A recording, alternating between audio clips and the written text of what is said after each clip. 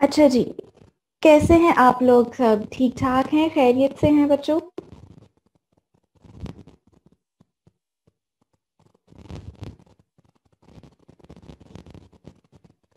चलिए माशाल्लाह अच्छी बात है। आ, आज हमारा आ, सेमेस्टर जो है वो अलहमदिल्ला स्टार्ट हो गया है। और आ, मेरे साथ आप लोगों का ये पहला इंटरेक्शन है। मतलब हमने इससे पहले आपस में कोई कोर्स नहीं पढ़ा हुआ। तो सबसे पहले मैं कोई भी बात शुरू करने से पहले अपने आप को इंट्रोड्यूस करा देती हूँ थोड़ा सा आ, मैं मेरा नाम फिजा मसूद है और बेसिकली मैं फिजियोथेरेपिस्ट हूँ। के से मैंने ग्रेजुएशन की हुई है 2015 में की थी। ऑलमोस्ट सिक्स इयर्स होने वाले हैं और उस जब से ग्रेजुएशन की है तब से ही मैं टीचिंग कर रही हूँ। पहले मैंने अलामा इकबाल में अलामा इकबाल मेडिकल कॉलेज में टीचिंग की।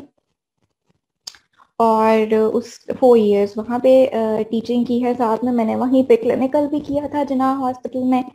और उसके बाद अब ऑलमोस्ट मुझे डेढ़ साल हो गया यहाँ पे यूएमपी के साथ। तो दरमियान में मैंने मास्टर्स किया था रिफा यूनिवर्सिटी से।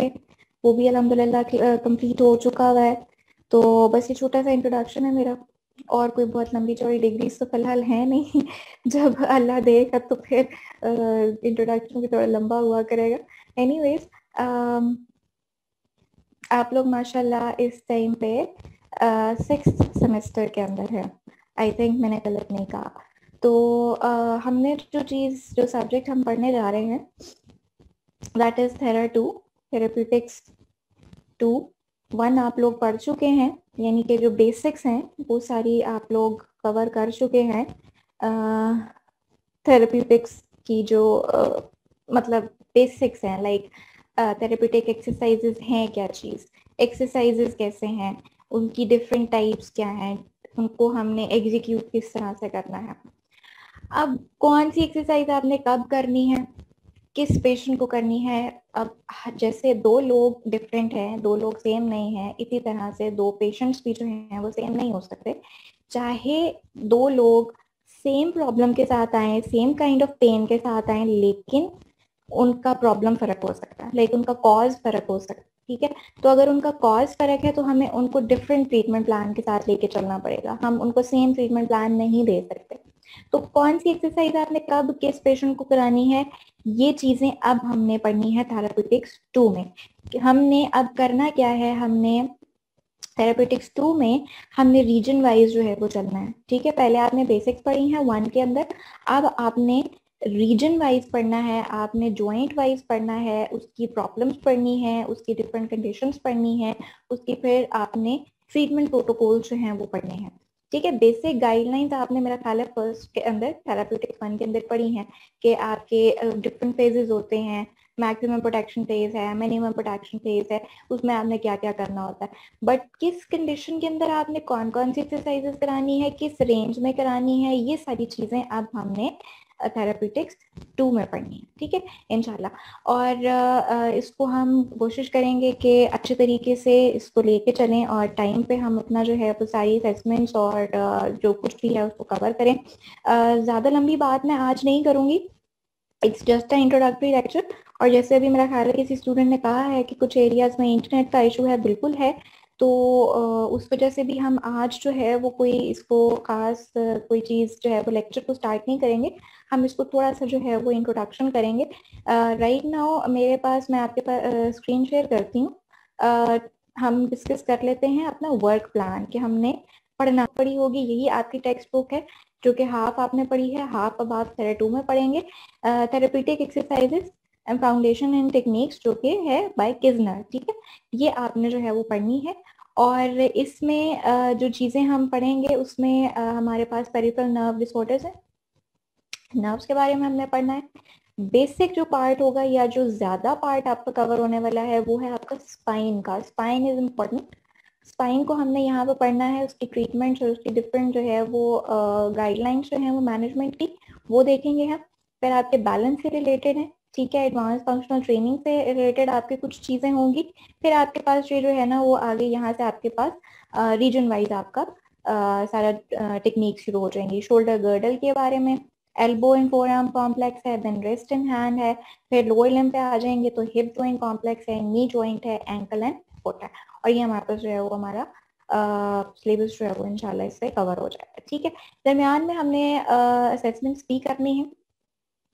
असेसमेंट्स में ये चीज़ है कि अभी मैं सिर्फ़ आपको रफली बता देती हूँ, क्योंकि आपका असेसमेंट प्लान जो है ना, वो बाकी जो जितने भी आपके सेक्शन हैं उनको जो भी टीचर्स पढ़ा रहे हैं, उनके साथ सेम करना है।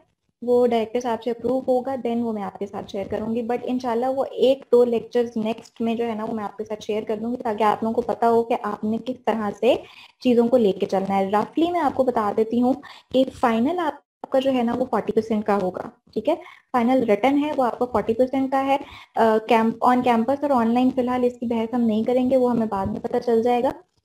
लेकिन 40 परसेंट आप याद रखें कि आपका फाइनल है बाकी आपके जो 60 परसेंट है वो सारे के सारे आपके सेशनल है। उसके अंदर आपका वाइवा भी होगा उसमें आपकी असाइनमेंट्स भी होंगी प्रेजेंटेशंस भी होंगी उसमें आपकी क्लास पार्टिसिपेशन भी आ जाएगी उसमें आपके शॉर्ट टेस्ट या क्विजेस टाइप जो हैं सिनेरियो बेस्ड या एमसीक्यूज वो जिस तरह से भी हमें डायरेक्शन uh, होंगी हम उस तरह से करेंगे। लेकिन ये सारी चीज़ें जो है वो आपकी आ जाएँगी uh, आपके सेशनल्स के अंदर जो कि सिक्सटी परसेंट है। अटेंडेंस को भी मेंटेन रखना आपके लिए ज़रूरी है ठीक है?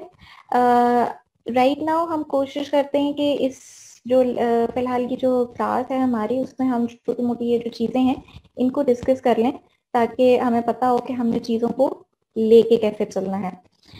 प्रैक्टिकल्स uh, लैब जिसके अंदर होंगी क्योंकि ये आपका मैनुअल से रिलेटेड सब्जेक्ट है ठीक है? यानी आपकी जो टेक्निक्स है ऑब्वियसली सारा आपकी जो फिजियोथेरेपी इवन डिग्री है मैं तो कहती हूँ सारी मैनुअल डिग्री है। तो और ख़ास तौर पे ये जो थेरेपेटिक टेक्निक्स है ये आपकी प्रैक्टिकल वर्क है तो डेफिनेटली डेफिनेटली इसमें आपका लैब वर्क होगा। लैब वर्क हम साथ के साथ करेंगे या एट दी एंड हमने करना होगा हम उसके लिए लैब अरेंज करेंगे ठीक है?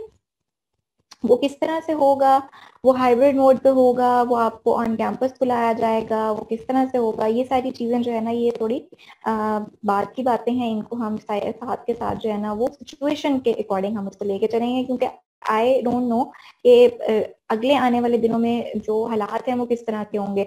एक तो जो कोविड की सिचुएशन है, वो भी बहुत अजीब किस्म की है। सेकेंडली हमारे जो मुल्क में राइट नाउ सियासत चल रही है, वो भी बड़ी अजीब तरह की चल रही है। तो कंडीशन और सिचुएशन जो है ना, वो हाईली अनप्रडिक्टेबल है कि अगले दिनों में क्या होने वाला है। तो राइट नाउ मैं इस पर कोई कॉमेंट नहीं कर सकती कि आपका लैब वर्क जो है वो कब करना है और वो किस तरह से करना ठीक है बट हम करेंगे ज़रूर।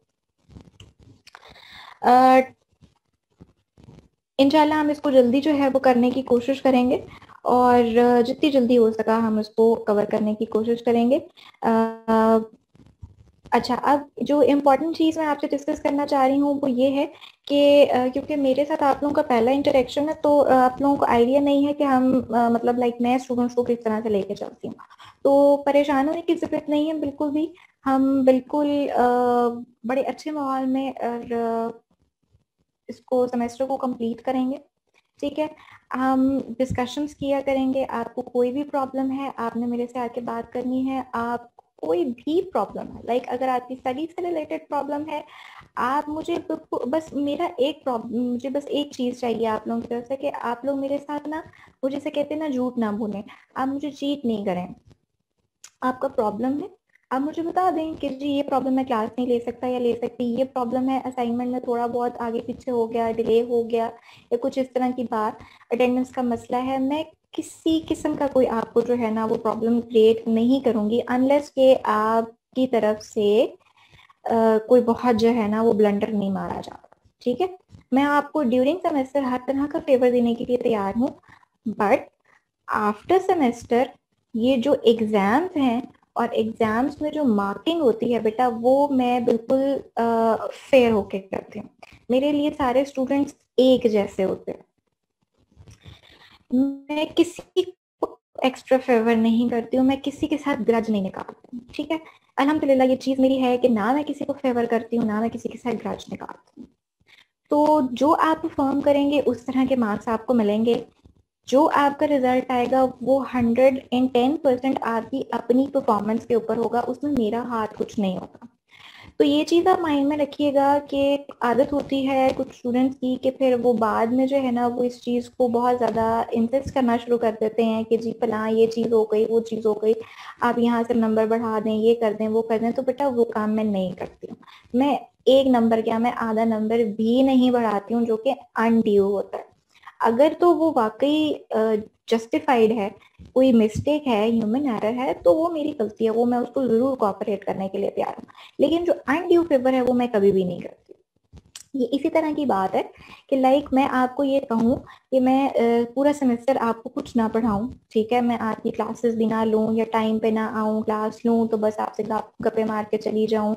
और मैं आपको ये कहूँ कि बस आपने ना किसी को मेरी शिकायत नहीं लगानी, क्योंकि देखिए मैं बहुत ज़्यादा जो है ना वो मेरे हालात इस तरह के हैं। मुझे जॉब की ज़रूरत है, मुझे पैसों की ज़रूरत है। तो देखें आपने ना किसी को शिकायत नहीं लगानी मेरी, बस हम इसी तरह से चलेंगे। तो डू यू थिंक कि आप लोग मेरे साथ इस चीज़ को फेवर करेंगे? मुझे जब आपको एक चीज़ पढ़ाई ही नहीं जा रही और फिर मैं आपसे एग्ज़ाम भी ले रही हूँ तो आप लोग तो मेरे साथ पढ़ोगे ना इस चीज़ पे कि जब आपने हमें पढ़ाया नहीं है, हमारा एक नुकसान कर रही हैं आप तो हम आपकी इस रिस्पॉन्स जो आपकी ज़रूरत है, हम तो उसके लिए रिस्पॉन्सिबल नहीं है ना। आपके घर के हालात खराब हैं, आपको जॉब रिक्वायर्ड है, आपको पैसे चाहिए तो आप पढ़ाएँ, आप अपना जो पैसे हैं उसको हलाल करें। डेफिनेटली हर बंदा यही कहेगा। तो यही चीज़ आप लोगों के ऊपर भी अप्लाई होती है कि आप लोगों में से जिस, जिसको शौक है कि उसने पास होना है, उसने अच्छे ग्रेड लेने हैं, उसका स्कॉलरशिप है तो बेटा ये उसकी अपनी रिस्पॉन्सिबिलिटी है। एट दी एंड आप अगर आके मुझे के कहेंगे कि देखिए हमारा स्कॉलरशिप ज़ाया हो रहा है तो बेटा वो रिस्पॉन्सिबिलिटी मेरी नहीं है, आपका स्कॉलरशिप मेंटेन रखना। वो आपकी अपनी रिस्पॉन्सिबिलिटी आपके ग्रेड्स आपकी अपनी रिस्पॉन्सिबिलिटी है नॉट माइंड ठीक है? ये चीज़ बहुत अच्छे से माइंड में रखिएगा ताकि हमारा जो रिलेशनशिप है ना, वो एट द एंड खराब नहीं हो। वरना अक्सर ऐसा हो जाता है कि वो बच्चे जो है ना, जिनके ग्रेड अच्छे नहीं आते, फिर वो दुआएँ देने पे भी उतर आते ऐसा भी हो चुका है। तो आई होप मैं होप करती हूँ आप लोगों की तरफ़ से कि इनशाला ऐसा नहीं होगा आप लोगों की तरफ़ से। और हमारा ये जितना भी टाइम है वो हम बड़े अच्छे से जो है ना उसको गुजारें ठीक है? अच्छा आ, ये बस छोटी छोटी सी बातें थी और अटेंडेंस को बेटा मेंटेन ज़रूर कीजिएगा। अटेंडेंस के लिए ये है क्योंकि ये ऑनलाइन है मुझे पता है इसमें कनेक्टिविटी के इश्यूज़ आते हैं इलेक्ट्रिसिटी वगैरह इश्यूज़ सारे के सारे आते हैं। तो ऐसा है कि मैं आप लोगों के लिए इतना फेवर कर रही हूँ कि आपको क्लास में एटलीस्ट हाफ़ एन आवर के लिए प्रेजेंट होना ज़रूरी है। ठीक है? आप क्लास में हाफ़ एन आवर प्रेजेंट होंगे मैं आपकी अटेंडेंस जो है उसको प्रेजेंट मार्क कर दूँगी। अगर आप क्लास में प्रेजेंट नहीं है और आप हाफ़ आवर से भी काम के लिए प्रेजेंट है तो फिर वो मैं उसको कंसिडर करूँगी कि ये आपकी एबसेंट है। अदरवाइज़ अगर कोई प्रॉब्लम है और आप मुझे उसको आ, बता दें कि जी मेरा ये प्रॉब्लम था मैं इस वजह से जो है वो क्लास कंटिन्यू नहीं कर सकी या मैं ज्वाइन नहीं कर सकी या वो डिस्कनेक्ट हो रहा था जो भी प्रॉब्लम है। सच्ची सच्ची बता दें मुझे कोई मसला नहीं है। कसम से मुझे आप लोगों के अटेंडेंस के साथ कोई मसला नहीं है। मैं उन टीचर्स में से नहीं हूँ जिनको ये प्रॉब्लम होता है कि जी अटेंडेंस खराब करनी है। आप लोगों ने पढ़ना है, मैंने पढ़ाना है। जिसको शौक है क्लास में आए जिसे नहीं पढ़ना, उसकी अपनी मर्ज़ी है, ठीक है? तो मैं किसी को फोर्स नहीं कर अटेंडेंस पे मैं किसी को प्रॉब्लम नहीं करी आप बस मुझे आके बता दें कि ये प्रॉब्लम था। अच्छा अब जो मेरे करने वाली बातें थी वो तो आई थिंक मैं सारी कंप्लीट करती हैं आप लोगों के साथ। तो अब अगर आप लोगों में से कोई कुछ कहना चाह रहा है तो वो ज़रूर कहे। ड्यूरिंग क्लास आप लोगों के माइक्स जो है ना, वो म्यूट रहा करेंगे, ये मेरा थोड़ा सा तरीका है। और जब क्लास हम, आप दरम्यान में आपको कोई भी क्वेश्चन है, आप हैंड रेज कर सकते हैं या आप चैट बॉक्स में लिख के ड्रॉप कर दे, ठीक है? At the end of the class हम छोटा सा जो है वो डिस्कशन सेशन किया करेंगे। उसमें आपके माइक्स भी जो है वो मैं अनम्यूट कर दूँगी। अगर आपको कोई क्वेश्चन है, आप माइक के थ्रू अगर बात करना चाह रहे हैं, आप उस तरह से मेरे से क्वेश्चन पूछ सकते हैं। या जो आपने चैट बॉक्स में लिखे होंगे, वहाँ से मैं पढ़ के आपको तो आंसर कर दिया करूँ ठीक है? तो अब मुझे ये बता दें कि आप लोगों में से अगर किसी ने कोई बात करनी है, कोई भी रिलेटेड स्टडीज़ है, आपके सब्जेक्ट से रिलेटेड या कुछ पूछना चाह रहे हैं तो वो आप मुझसे पूछ लें। फिर हम इसको आज की क्लास को जो है ना, वो जल्दी फाइंड अप कर देते हैं। जी, अगर किसी का कोई क्वेश्चन है, आप हैंड रेस कर लीजिए।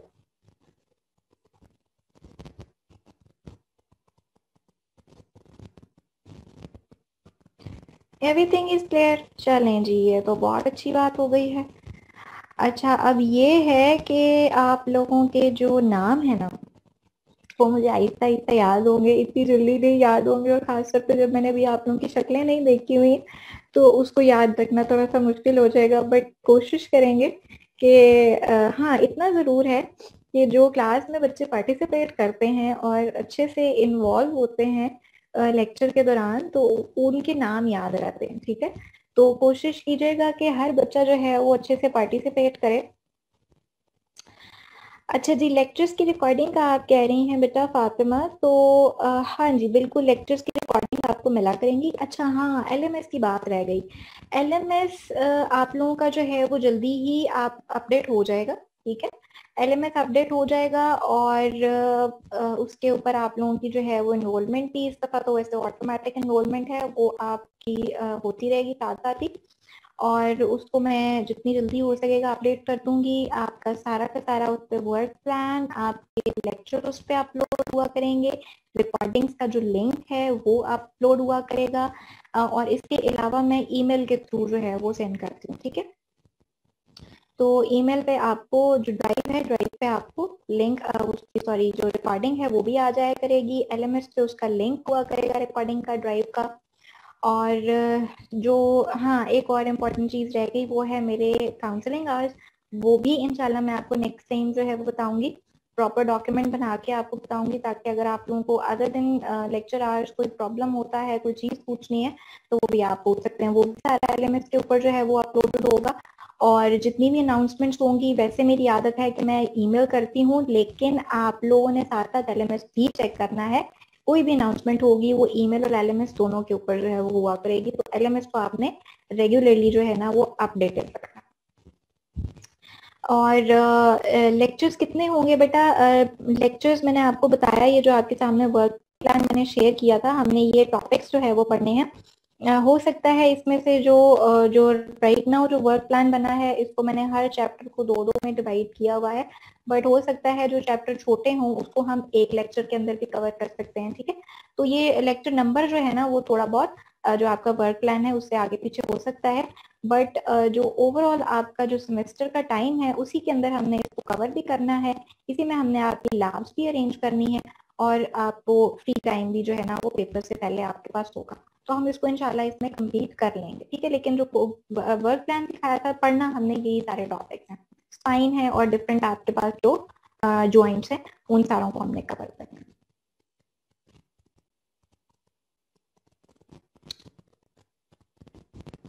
चलें जी। आई होप कि चीज़ें जो हैं वो क्लियर होंगी और हम अच्छे से जो है वो एक अच्छा जो इन्वायरमेंट है, उसके साथ हम क्लास को लेके चलेंगे सेमेस्टर को एंड करेंगे। ठीक है बेटा? चलें। अब ऐसा है कि जो हमारी नेक्स्ट क्लास होगी दैट वुड बी ऑन भला कब? थर्सडे को? थर्सडे को आठ बजे। ठीक है? तो इनशाला फिर अब हम तब मिलते हैं और तब हम अपना जो पहला लेक्चर है, वो शुरू करेंगे। That would be related on जो पेरिफेरल नर्व्स हैं, उनसे रिलेटेड होगा। ठीक है? तो उसको हम शुरू करेंगे। बाकी इनशाला नेक्स्ट लेक्चर में मिलते हैं और जो भी प्रॉब्लम्स होंगे वो फिर हम साथ के साथ उसको शेयर करते रहेंगे। ठीक है बेटा जी? अपना ख्याल रखिएगा। रमज़ान है, दुआओं में याद रखिएगा। अल्लाह ताला सबके लिए आसानी करे और सबके लिए, आप लोगों के लिए इवन हमारा जो राइट नाउ जो मुल्क की कंडीशन बनी हुई अल्लाह ताला उसको भी जो है ना, वो हमारे हाथ में बेहतर करे। ठीक है बेटा? अल्लाह हाफिज, अपना ख्याल रखिएगा।